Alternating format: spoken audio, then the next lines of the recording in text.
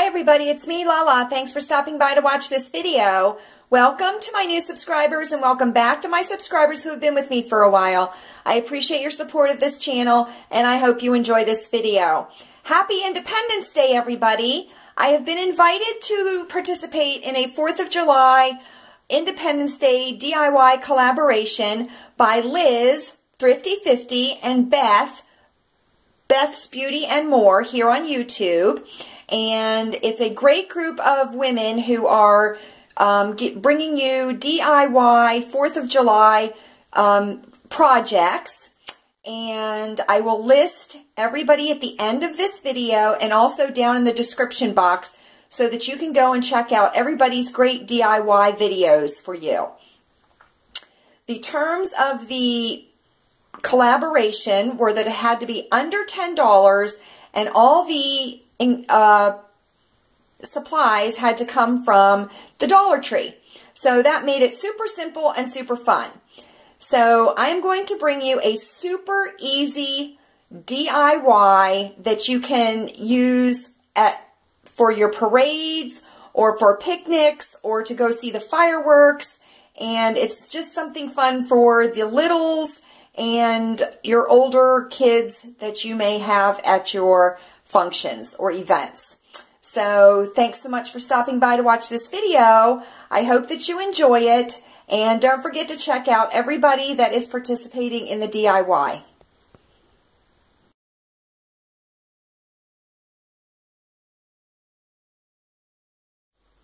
Okay, so the supplies that you will need for this DIY are you will need some of the star garland from the Dollar Tree. This comes in 25 foot um, sections. So you could get multiple items out of one single package.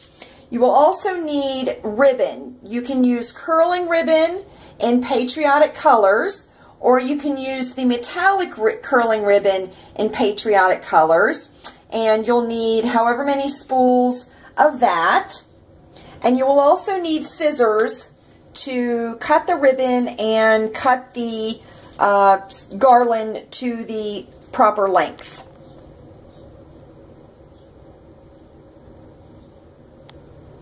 Okay, so you're going to want to take the paper hanger off of this and you're going to want to unravel it and you're going to determine how many pieces that you want to go around and you're going to measure the head of the little or yourself and determine how much around you want it to go. And it's just going to sit on your head, kind of like a um, headband or a halo.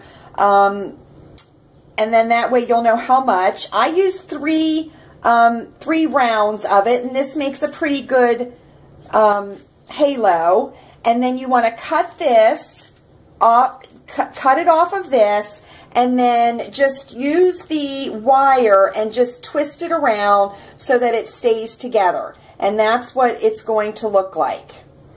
So it's going to kind of look like a triple headband kind of a thing. And you'll be able to get quite a few out of a 25 foot length. So let's go on to the next step. Okay, so you're going to open up your curling ribbon and you're going to cut two lengths of each color um, and two of the red, two of the silver, and two of the blue, or whatever colors that you use. And I cut one yard lengths. So I have two one yard lengths of the red, two one yard lengths of the blue, and two one yard lengths of the silver. And these will be the streamers on the um, hanging off of the headband. On to the next step. Okay, so what you want to do is you want to take each ribbon, each pair of col colors, two ribbons of each color, and you want to put them together, and then you just want to tie them onto the halo, um, each color at a time. So I took the two red and tied them at the same time. I took the two blue and tied them at the same time, and I took the two silver and tied them at the same time. And then you will get streamers that are hanging off of the halo like that. So that'll be fun. So let's move on to the next step.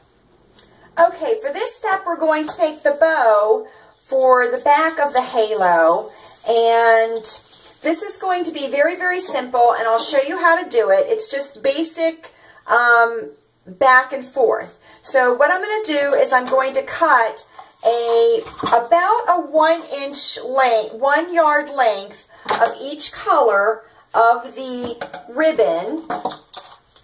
And these, this is going to form our bow for the halo. These would be great at picnics. These would be great for a 4th of July parade or even if you were to go to a carnival or the fireworks or something like that and make them ahead of time and then have everybody um, wearing one. Um, it'll be a fun way to just kind of um, identify everybody and that way you will know that um, you know, who's in your group and who's not. And I guarantee you, if you make these and you wear these out to a function or parade, that you will have people walking up to you asking you where you have bought these. Um, and you can just tell them that they were made and that they're super simple and share it with somebody and start a conversation. So we have taken a one yard length of each color of our ribbon. I also cut a smaller length, and this is going to tie off the bow. So what I'm going to do now is I'm going to take, take the ribbon and just set it next to each other like this. Make sure that the ends are fairly even. They don't have to be perfectly even, but fairly, fairly lined up.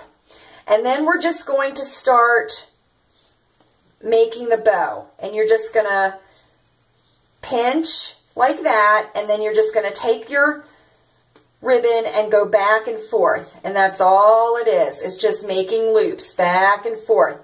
Now, if you want a bigger, more loops, then you would cut a longer length of ribbon. And if you wanted less loops, then you would cut a shorter length of ribbon. But it's always fun to have a nice big bow in the back. So you want to make sure that you cut your, um, cut your ribbons long enough. Okay, so we've made the bow. There we go. What we're going to do is we're going to take our length of shorter ribbon and we're going to use it to wrap around the bow and we're going to pull it tight so that it bows out like that. We're going to pull it, and then we're just going to tie it. This is where it gets tricky because you have to pull it. Sometimes you got to use your teeth, which is not a good thing. And then you just pull it tight. And then you can just fray out, fray out the, pull the ribbons out like this so that it makes a bow fun like that. Okay? Then you want to take your halo that has the ribbon streamers tied on it already.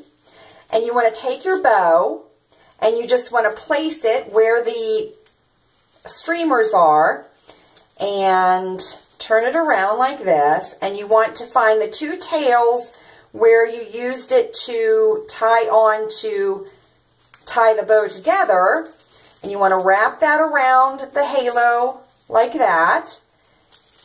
And then you want to find the other one and wrap it in the opposite direction so that it stays straight. Put it on the halo like that. And then you want to tie that.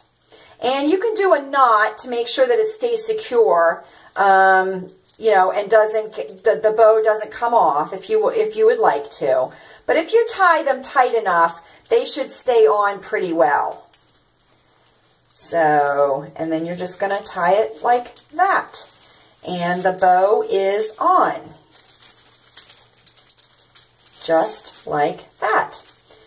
And then you can just take your loops of your bow and just pull them so that they open up. And there you go. Now, you can clip, you can see we have some we have some longer tails, so you can clip those if you'd like to, if any of them stick out. But that's it. There it is. That is your 4th of July Independence Day halo.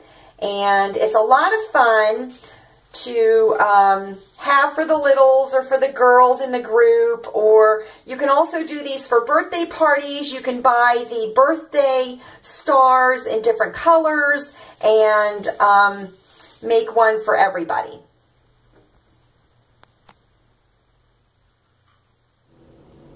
so that's how easy it is to make a um, event halo. I'm going to call it an event halo because you can definitely um, you know, personalize this to the event. If you wanted to do birthdays, if you wanted to do bachelorette party, um, you know, that would be really fun too. If you wanted to do a, this for a craft for a sleepover, I mean, it's super simple, super easy, and very, very economical. All you need is a pack of the um, star garland or really any kind of garland that you can find that is wired. You just need some curling ribbon and you would need a pair of scissors. And it is just super cute and you know it'll just be a nice little keepsake of the day and something fun and patriotic to wear um, you know during the event or to the event and it could be, um, you know, a craft setup that you had at your event um, and let the littles do it or let everybody make their own. It's just super, super simple and, you know, it's just, it's just fun. It's fun to have something, um, you know, patriotic to wear. So it would definitely be good for uh, this coming 4th of July. So I will leave everybody's all the other collaborators, I will leave their names at the end of this video and also down in the description box below. I would like to thank Liz and Beth very, very much for asking me to participate in this collaboration. I wish everybody a happy 4th of July and let's all celebrate Independence Day. Thanks for stopping by.